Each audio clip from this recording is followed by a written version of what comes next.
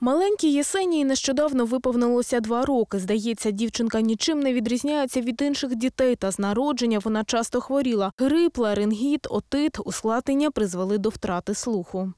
Но я до этого еще ходила, говорила к Лору, что мне кажется, что она как бы не дослышивает. Но там так, иногда вот так вот э, что-то так, я сомневалась. Л- Лора говорит, что это э, до трех лет детки бывает не реагируют, но на себя таким образом внимание обращают. Та підстави для хвилювання дійсно були. Ситуація погіршувалася. Лікарі поставили діагноз глухота та сенсоневральна туговухість четвертого ступеня. Дівчинці необхідні були слухові апарати. За допомогою родина мусила звернутися до небайдужих людей.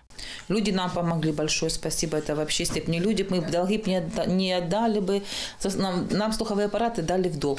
Один аппарат стоит 30 тысяч. Ну, мы бы просто бы не выплатили, так как у нас пятеро детей, я сижу в декрете пока еще.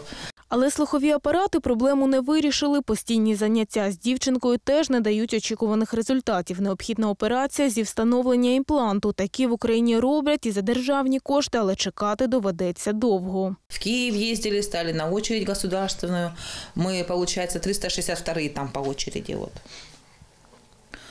Ну, это э, операция, если так э, мы считали, 70 э, имплантов в год делается, то это, наверное, лет через 5 мы только можем его поставить. Та для Єсенії кожен день на вагу золота лікарі радять поквапитися з операцією, інакше є ризик втратити останній шанс на одужання. Эффективность операции слухопротезирования всегда зависит от э, возраста, в котором мы это начинаем делать.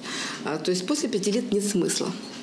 Ни в слухопротезировании, ни в кохлеарной имплантации. Хоть я всегда рассказываю, объясняю, хоть золотой с бриллиантами. Смысла не будет, потому что кора атрофировалась, и мы уже ничего не стимулируем. Поэтому вот задача, чем раньше, тем лучше. Вартість операції 30 тисяч євро. Сума для багатодітної родини непідйомна, поки вдалося зібрати тільки тисячу. Єдина надія небайдужість людей. Я надеюсь, что люди не будут равнодушными, не пройдут мимо, что они помогут все-таки ребенку, не оставят его ну, как бы в мире, где она ничего не услышит, ничего не скажет. Хотелось бы увидеть помощь людей. Щоб отримати всю інформацію для допомоги маленькій Єсенії, потрібно зв'язатися з її мамою Оленою за телефоном, вказаним на екрані. Марія Марикелян, Андрій Снісаренко, Ігор Бахіркін, ТВ 5